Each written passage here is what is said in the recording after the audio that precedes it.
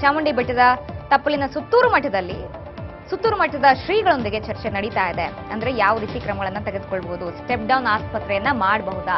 Step down ಆಸ್ಪತ್ರೆ ಮಾಡಿದ್ರೆ ಯಾವ ಸೌಲಭ್ಯಗಳನ್ನ ಕೊಡಬೇಕಾಗತ್ತೆ? ಯಾಕಂದ್ರೆ ಸುಮ್ಮನೆ ಆಸ್ಪತ್ರೆ ಮಾಡೋದಲ್ಲ, ಅಲ್ಲಿ ಸೌಲಭ್ಯಗಳು ಇರಲೇಬೇಕು ಮೈಲ್ಡ್ ಸಿಂಟಮ್ಯಾಟಿಕ್ ಇರೋರು ಸೀರಿಯಸ್ ಆಗುವಂತ ಚಾನ್ಸಸ್ ಇರುತ್ತೆ. ಹಾಗೆ ಕೋವಿಡ್ನಿಂದ ರಿಕವರ್ ಆಗಿರೋರು ಮತ್ತೆ ಕೋವಿಡ್ ಸಿಂಪ್ಟಮ್ಸ್ ಕಾಣಿಸ್ಕೊಳ್ಳುವಂತ ಸಾಧ್ಯತೆಗಳು ಕೂಡ ಇರುತ್ತೆ. ಹಾಗಾಗಿ ಸ್ಟೆಪ್ ಡೌನ್ ಆಸ್ಪತ್ರೆ ಕೂಡ ಸಜ್ಜಿತವಾಗಿರಬೇಕಾಗುತ್ತೆ ಹಾಗಾಗಿ ಏನೆಲ್ಲ ಕ್ರಮಗಳನ್ನ ತೆಗೆದುಕೊಳ್ಬಹುದು ಅಂತ ಈ ಒಂದು ಚರ್ಚೆ ಮಾಡಲಾಗ್ತಾ ಇದೆ. ಈ ಒಂದು ಸಭೆಯಲ್ಲಿ ನಿರ್ಣಯವನ್ನು ತೆಗೆದುಕೊಳ್ಳಲಾಗ್ತಾ ಇದೆ. ಯಾವುದೇ ಕಾರಣಕ್ಕೂ ಕೋವಿಡ್ ಕೈತಪ್ಪಿ ಹೋಗಬಾರ್ದು ಮೈಸೂರಿನಲ್ಲಿ ಅಂತ ಹೇಳಿ ಈಗ ಜಿಲ್ಲಾಡಳಿತ ಪಣ ತೊಟ್ಟು ನಿಂತಿದೆ.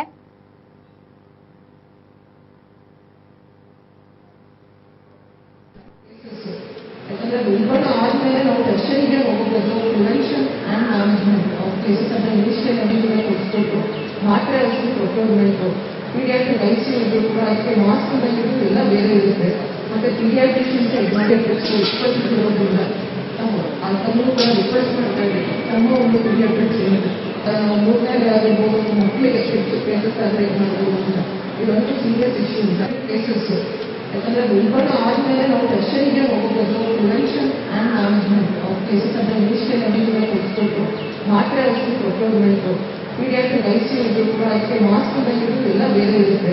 ಮತ್ತೆ ಪೀಡಿಯಾಟ್ರಿಷಿಯನ್ಸ್ ಎಡ್ಮಾಟಿಕ್ಸ್ ಎಕ್ಸ್ಪರ್ಟ್ ಇರೋದ್ರಿಂದ ಅದನ್ನು ಕೂಡ ರಿಕ್ವೆಸ್ಟ್ ಮಾಡ್ತಾ ಇದ್ದೀವಿ. ತಮ್ಮ ಒಂದು ಪೀಡಿಯಾಟ್ರಿಕ್ಸ್ ಏನಿದೆ ಮೂರನೇ ಆಗಿರ್ಬೋದು ಮಕ್ಕಳಿಗೆ ಕೇಸಸ್ ಆದರೆ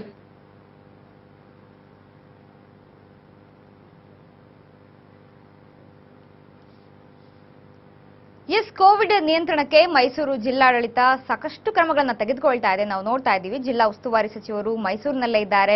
ಹಾಗೆ ಬ್ಲಾಕ್ ಫಂಗಸ್, ಮೈಸೂರಿನಲ್ಲಿ ನಾಲ್ಕು ಸೋಂಕಿತರಿದ್ದಾರೆ. ಬ್ಲಾಕ್ ಫಂಗಸ್ ಅಂತ ಹೇಳಿ ಅದಕ್ಕೂ ಕೂಡ ಕ್ರಮಗಳನ್ನು ತೆಗೆದುಕೊಳ್ತಾ ಇದ್ದಾರೆ. ಈಗ ಕೋವಿಡ್ ನಿಯಂತ್ರಣ ಮಾಡಲೇಬೇಕು. ಬ್ಲಾಕ್ ಫಂಗಸ್ ಜೊತೆಗೆ ಕೋವಿಡ್ ಆತಂಕ ಹಾಗೆ ಇದೆ. ಪ್ರತಿದಿನ ಎರಡು ಸಾವಿರಕ್ಕೂ ಅಧಿಕ ಕೇಸ್ಗಳು ಈಗಲೂ ಕೂಡ ಮೈಸೂರಿನಲ್ಲಿ ದಾಖಲಾಗ್ತಾ ಇದೆ. ಹಾಗಾಗಿ ಏನ್ ಮಾಡಬೇಕು? ಮುಂದೆ ಬೆಂಗಳೂರು ಆಗಬಾರ್ದು, ಮತ್ತೊಂದು ಬೆಂಗಳೂರು ಆಗಬಾರ್ದು ಮೈಸೂರು ಅಂತ ಹೇಳಿದ್ರೆ ಯಾವ ರೀತಿ ಕಟ್ ಒಂದು ಕೋವಿಡ್ ನಿಯಂತ್ರಣ ಚೈನ್ ಕಟ್ ಮಾಡೋದು ಇರ್ಬೋದು, ಯಾವ ರೀತಿಯಾಗಿ ಕ್ರಮಗಳನ್ನ ತೆಗೆದುಕೊಳ್ಬೇಕು ಅಂತ ಹೇಳಿ ಈಗ ಈ ಒಂದು ಸಭೆಗಳು, ಚರ್ಚೆಗಳು ಆಗ್ತಾ ಇರುವಂತದ್ದು